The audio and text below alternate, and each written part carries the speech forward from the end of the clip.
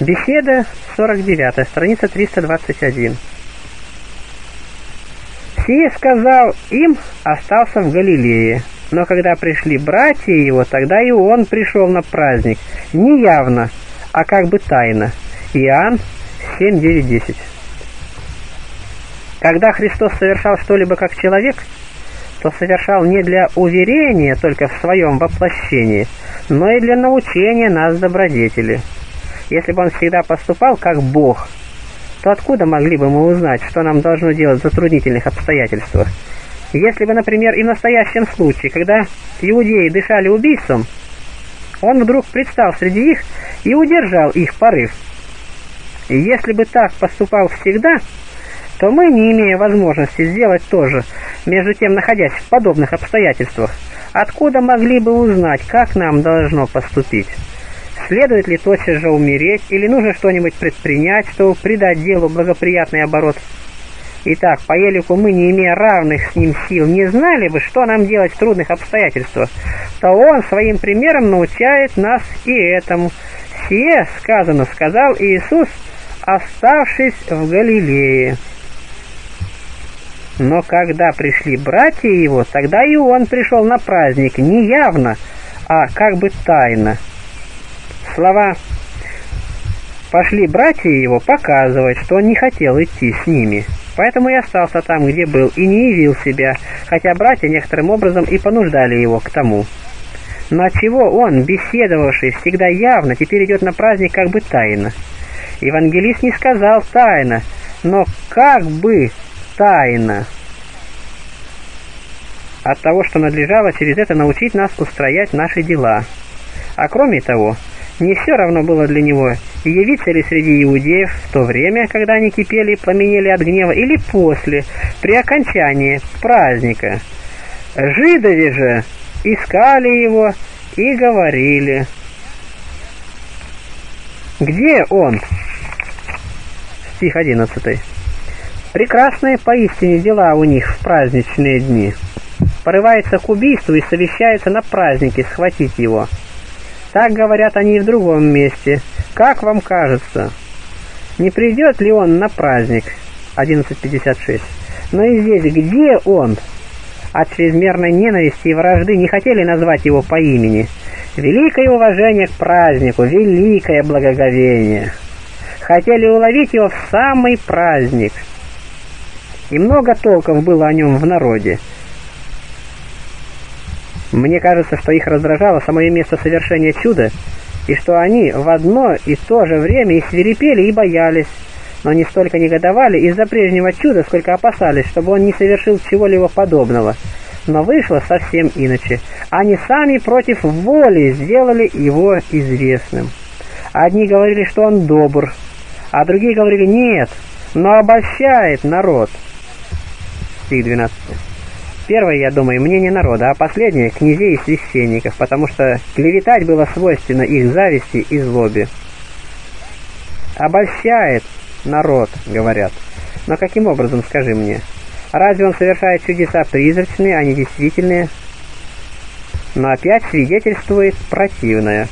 Впрочем, никто не говорил о нем явно, боясь иудеев. Видишь ли, начальники – люди развращенные, а подначальные, хотя и здраво судят, но лишены надлежащего мужества, которого преимущество не достает у народа. Но в половине уже праздника вошел Иисус в храм и учил. Стих 14. Через промедление он сделал их внимательнее. Те, которые искали его в первые дни праздника и говорили, где он, теперь Увидев его неожиданно перед собой, смотри, как поспешили к нему и старались внимать его словам те, которые называли его добрым, и те, которые не считали таким. Одни, чтобы получить пользу и подивиться, а другие, чтобы схватить его и задержать. Говорили же, он обольщает народ вследствие его учения о догматах, так как не понимали того, что он говорил. А добр, говорили, вследствие его чудес. Итак, он предстал пред ними после того, как утишил их ярость, чтобы они внимательно могли выслушать его слова, когда гнев не заграждал уже их слуха. Чему он учил, евангелист того не сказал. Говорит только, что он учил дивно, что пленил их и произвел в них перемену. Такова была сила его слов. Те, которые говорили «обольщает народ», теперь переменившись в своих мыслях, дивились ему и потому и говорили «Как он знает Писание, не учившись?» Стих 15. Видишь ли, как евангелист показывает, что и здесь их удивление было полно злобы. Не сказал, что они дивились учению или что принимали слова его. Не просто дивились, то есть приходили в изумление и в недоумение, говорили «Откуда в нем это?» Марка 6.2. Между тем, это недоумение должно было привести к сознанию, что в нем не было ничего человеческого. Но так как этого они не хотели исповедать, но ограничивались только удивлением, то послушай, что сам Христос говорит. «Учение мое не мое, но пославшего меня». Опять отвечает на их тайную мысль, обращая их к Отцу и желая тем заградить их уста. Кто хочет творить волю Его, тот узнает об этом учении, от Бога ли оно, или я сам от себя говорю. Стих 17. Эти слова значат вот что. Отриньте от себя злобу, гнев, зависть и ненависть, которые напрасно питаете против меня, и ничто не помешает вам познать, что мои слова поистине слова Божии. Теперь эти страсти омрачают вас и искажают в вас правильное и светлое суждение. А если исторгнете их из себя, то уже не будете подвергаться этому. Но Христос так не сказал, потому что этим слишком уязвил бы их. А все это прикровенно выразил в словах, кто творит волю его, уразумеет обучение, от Бога ли оно, или я сам от себя говорю. То есть, или я возвещаю что-либо чуждое, иного и противное, потому что выражение «от себя» всегда употребляется в следующем значении. Я не говорю ничего неугодного Богу, но чего хочет Отец, того и я. Если кто волю его творит, уразумеет обучение. Что значит, если кто волю его творит? Значит, если кто любит жизнь добродетельную и хочет быть внимательным к пророчествам, чтобы видеть, сообразно ли с ними я говорю или нет, тот уразумеет силу моих слов. 323. Как же его учение есть его и не его? Он не сказал, это учение не мое, но сказал прежде мое, и таким образом, усвоив его себе, потом уже присовокупил не мое. Как же одно и то же может быть и его, и не его? И его, потому что он говорил не как наученный, не его, потому что оно было учение отца. А как же он говорил, все отче мое, и все мое отче, Иоанна 17.10. Если оно потому не твое, что оно отче, то те слова «все отче мое» будут ложны, так как поэтому самому оно должно быть твое. Но слова «не мое» весьма ясно показывают, что его учение и учение отца одно и то же. Он как бы так говорил, «Мое учение ничуть не отлично от учения отца, как учение другого лица, хотя во мне и постась и другая, но я и говорю и делаю так, что нельзя подумать, будто я говорю и делаю что-либо отличное от отца. Я говорю и делаю то же самое, что и отец». Потом присовокупляет и другое, непровержимое умозаключение, выставляя на вид нечто человеческое и научая примером из обыкновенной жизни. Что же это такое? Говорящий сам от себя ищет славы себе, а кто ищет славы пославшему его, тот истинен, и нет неправды в нем. То есть, кто хочет вести свое какое-либо учение, хочет не для чего другого, как для того, чтобы через то приобрести себе славу. Если же я не хочу снискать себе славы, то для чего мне желать вводить свое какое-либо учение? Говорящий от себя, то есть высказывающий нечто свое и отличное, говорящий для того, чтобы приобрести себе славу. Если же я ищу славы пославшего меня, то для чего я стал бы учить другому? Видишь ли, что была некоторая причина, почему он и там говорил, что не делает ничего сам от себя. Иоанна 5.30. Какая же это причина? Та, чтобы уверить, что он не ищет славы у людей. По этой же причине, говоря о себе смиренно, он произносит «Я ищу славы Отца», и таким образом везде хочет убедить их, что он не желает славы человеческой. А почему он выражается смиренно, на это много есть причин. Как то, чтобы не подать о себе мысли, что он не рожден или богопротивен, чтобы уверить, что он облечен плотью, чтобы снизойти к немощи слушателей, чтобы научить людей быть скромными и не говорить о самих себе ничего великого. Когда же он выражается о себе возвышенно, то на это можно найти только одну причину – величие его естества. Но если иудеи соблазнились и тем, что он сказал «Прежде Авраама я был, есть» Иоанна 8,58, то чего не случилось бы с ними, если бы они постоянно слышали речи возвышенные? «Не Моисей дал вам закон». Не дал ли вам Моисей закона? И никто из вас не поступает по закону. За что ищете убить меня? Стих 19. Какую скажешь связь или что общего имеют эти слова с прежде сказанными?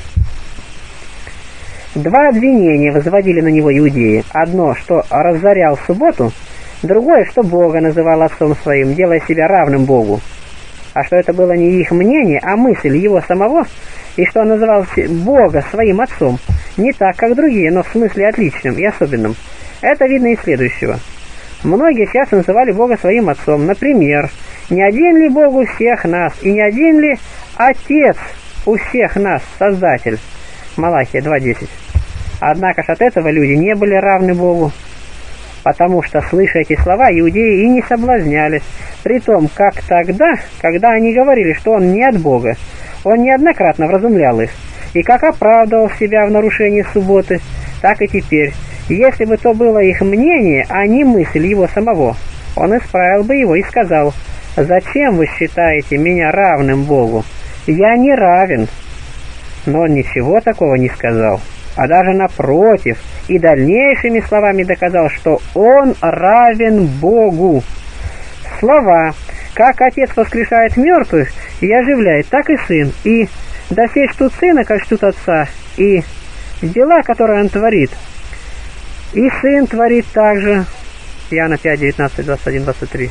Все эти слова доказывают его равенство. И о законе он также говорит. Не думайте, что я пришел нарушить закон или пророков. Матфея 5, 17.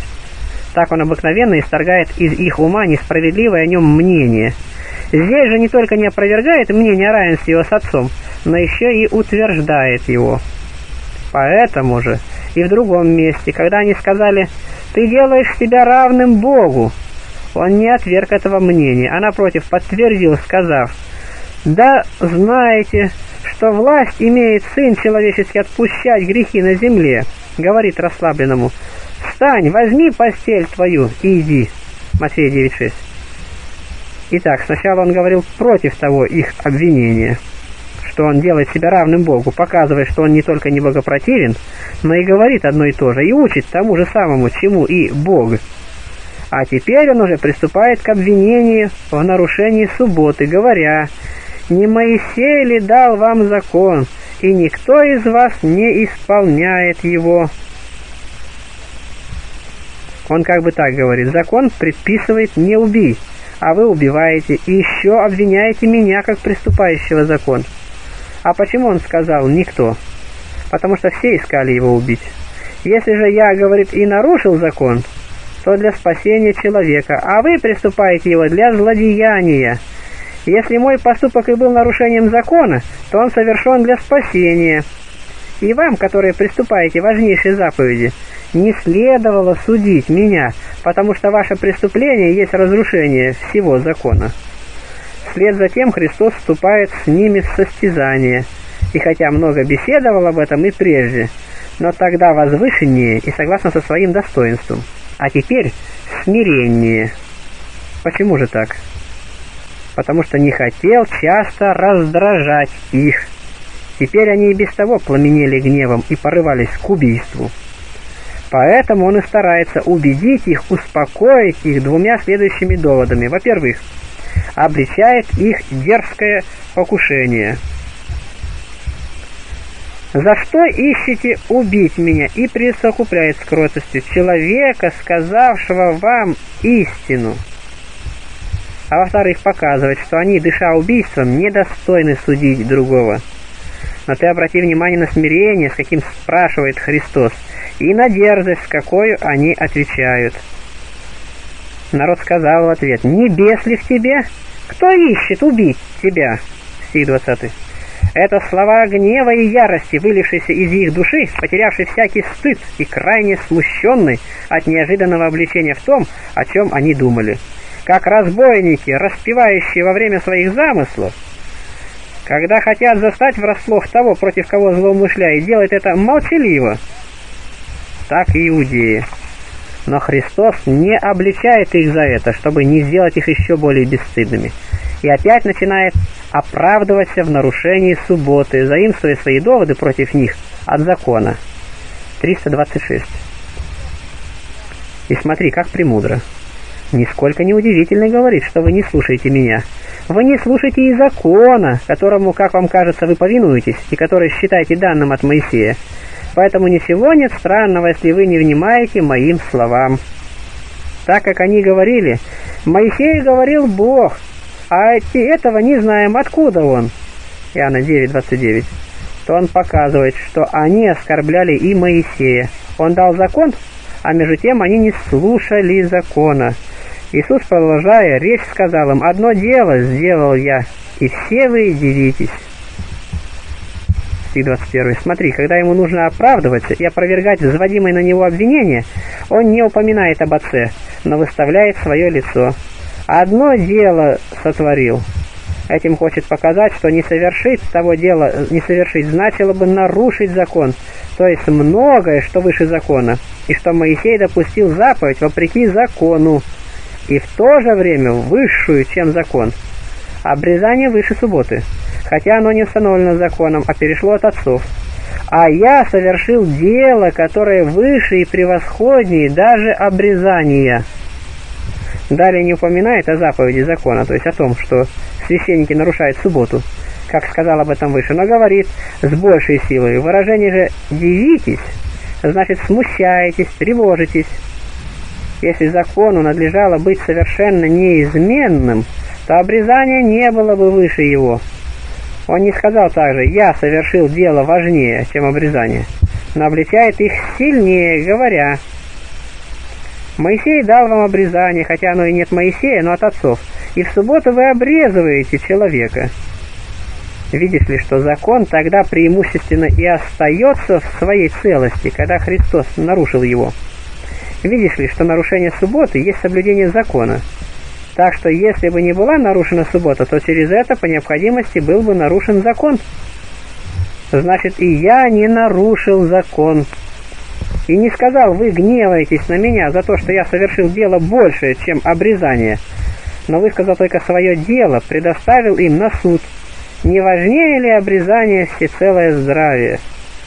У вас, говорит, нарушается закон для того, чтобы человек получил знак, немало не способствующий здоровью. И между тем, когда человек избавляется от столь тяжкой болезни, вы досадуете и негодуете, если в субботу принимает человек обрезание, чтобы не был нарушен закон Моисеев, на меня ли негодуете за то, что я всего человека исцелил в субботу? Не судите по наружности, но судите судом праведным. Что значит по наружности? Моисей пользуется у вас большим уважением. Но вы произносите суд, основываясь не на достоинстве лица, а на существе дел. Это значит судить справедливо. Почему никто не обвинял Моисея? Почему никто не восставал против его повеления нарушать субботу ради заповеди, отвне привнесенной в закон?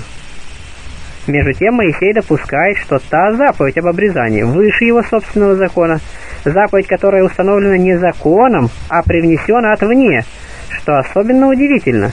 А вы, не будучи законодателями, сверх меры защищаете закон и мстите за него. Но Моисей, повелевший нарушать закон ради заповеди незаконной, заслуживает веры более вас. Словами всего человека Христос показывает, что обрезание приносило только часть здравия. Какое же здравие от обрезания? «Всякая душа, сказано, которая не обрежется, истребится». Бытие 17.14. «А я восставил от одра не от части только больного, а совершенно расслабленного. Итак, не судите по внешности». Будем уверены, что это сказано не жившим только тогда, а и нам. чтобы мы ни для чего не нарушали справедливости, но все для ней делали. Нищ ли кто или богат, мы не должны обращать внимание на лица, но обязаны исследовать их дело. Не помилуешь, и сказано, нищего на суде. Исход 23.3. Что это значит? Значит, не преклоняйся и не смягчайся, если несправедливо будет поступать и нищий. Если же не должно быть пристрастным к нищему, то гораздо более к богатому. Это, говорит, я не к судьям только, но и ко всем людям, чтобы они нигде не нарушали справедливости, но везде соблюдали ее свято. Любите, сказано, правду, Господь. Любящий же неправду ненавидит свою душу. Псалом 46, 4, 8 и 10, 5. Не будем же ненавидеть свои души, не будем любить неправду. Прибыли от ней теперь, без сомнения, мало или вовсе нет, а в будущем много вреда. А лучше сказать, мы и теперь не можем наслаждаться от ней удовольствием. Когда мы живем в роскоши, злой совестью, то не наказание ли и не мучение ли это? Возлюбим же справедливость и не будем никогда приступать этого закона. Какой плод принесет нам настоящая жизнь, если отойдем без добродетелей? Что там за нас будет предстательствовать? Дружба ли? Родство ли? Или чье-либо благоволение? Но что я говорю о чьем-либо благоволении? Хотя бы мы имели отцом Ноя или Иова или Даниила, и это нисколько не поможет нам, если нам будут изменять наши собственные дела. Нам только одно нужно – добродетель души. Она в состоянии будет спасти нас и избавить от вечного огня.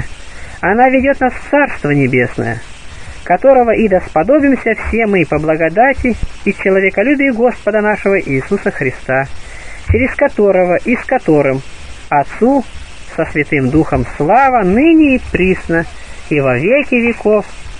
Аминь.